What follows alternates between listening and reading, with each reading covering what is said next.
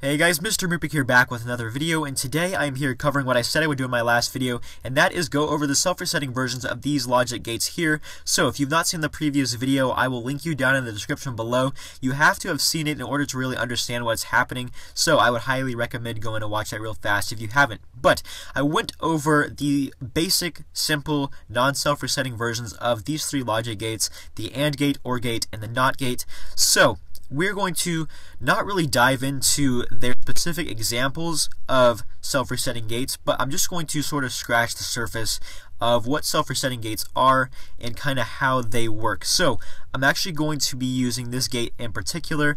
I will leave their actual I'm not actually going to show off what the self-resetting version of the AND gate is, but more or less of an overly complicated version of it to show off some of the specific um, examples of these concepts over here. So I, for a later video, I'll actually cover the specific examples, but today we're going to be sort of doing an introduction, if you will, to the self-resetting logic gate. So this is what that AND gate was, self-resetified, if that's a, that, that's not really a word, but that's what I'm going to call it because it's obviously completely different. It's way more complex, so, so much more complicated, there's so much more things going on. So, like I said, this is really just an overly complicated version of a self uh, self-resetting AND gate. It can be much simpler, much more compact, and not everything so crazy like it looks, because there definitely is a lot of craziness going on, and I'm actually going to do my best to explain somewhat of it, but um, it's got all the, the same things. We've got our two inputs here,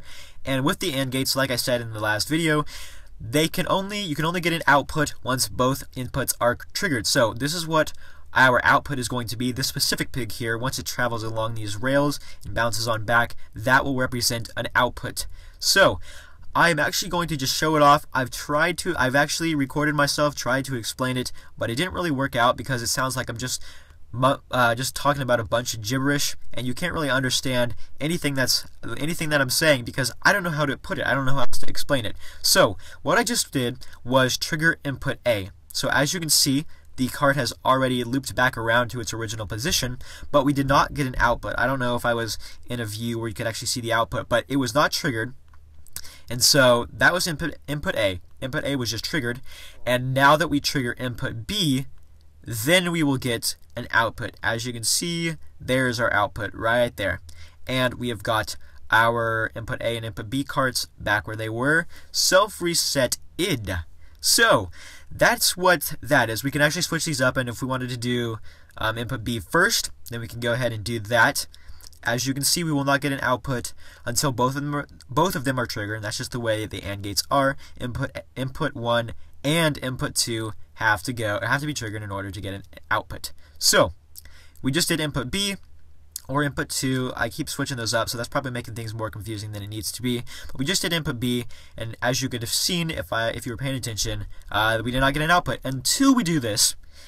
And so there is our output right there. Now, this is super complicated. Like I said, way more, uh, way more complicated than it needs to be, and that's what I'm going to do. And probably my next video, um, I'm going to cover what the actual or what I would recommend to use for an AND gate, self-resetting AND gate, OR gate, and a NOT gate. I might split it up because the NOT gate's a little bit more complex, but the OR gate is super, super simple. So who knows what I'll do, but expect that probably for the next video.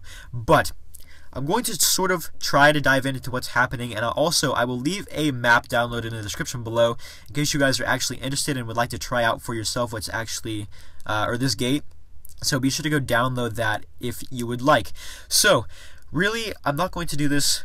I'm not going to actually explain this as much as I could because it's super confusing and I just don't know how to put it. But in simplified ways, we have got a minecart diverter for each input. So if we were to go, or actually, yeah, here's our here's our minecart diverter for input A and here's our minecart diverter for input B. The diverter diverts the carts that are that come in contact with it to the right or to the left, depending on the position of this minecart here in the middle of the diverter. So, in original position, the diverter connected to input A, which is the one right here, the if it were to connect with it, the input the input would travel to the left, and along this rail down here, it will go down to the bottom and switch the diverter connected to input B out of its original position so that it will not go up and trigger this one, but yet it will go straight to the output and trigger the output and then come back to its to its spot. So in their original positions, they will go not to the output but to the other diverter to switch it to the output. If that makes any sense whatsoever. So if I were to click this and put A right here, it will go right here, switch this or it'll go to the left and actually down here behind the cart, switching it to the opposite position that it is originally so that the cart will actually travel to the left and not to the right, which the right would be the way that it would originally travel. It will travel to the left instead because I have triggered input A, and thus going to the left um, just goes straight to the output. And then it comes back, resets itself, and goes, and the cart comes back to where it was. And so, um, once this travels down to the input B, and affects that minecart, it just loops back around, resets its own minecart, resets its own minecart, and the diverter comes back around to where it was originally. And basically flipped what I just said, and that's also what input B does.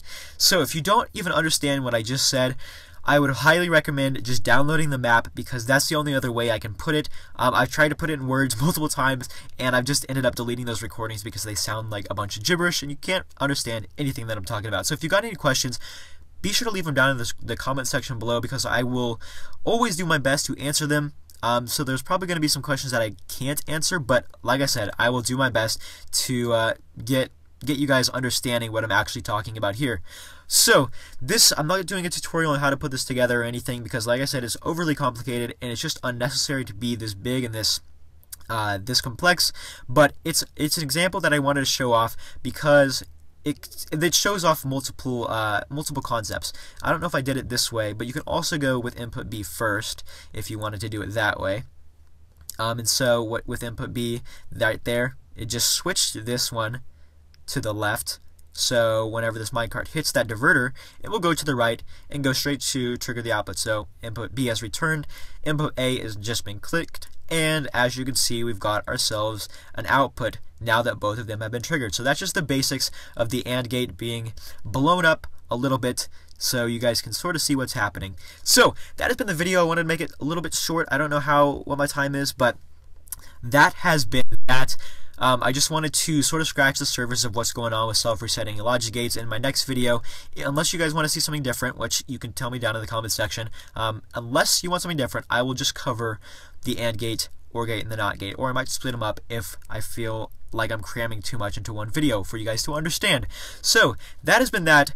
Maybe your minds are blown just a little bit. I don't really know, but it was really complex and really complicated and super hard for me to describe. So I'm just going to stop right there. If you enjoyed this video, if you liked it or didn't understand it, if you understood it or didn't understand it, I don't know. Whatever your um, honest opinions and ratings of this video, let me know by giving me a like or not a like on this video and comment any questions down in the comment section and I will be sure to get back on you with what I feel is necessary to answer. So that has been that and I will catch you guys in the next video. Have a wonderful day.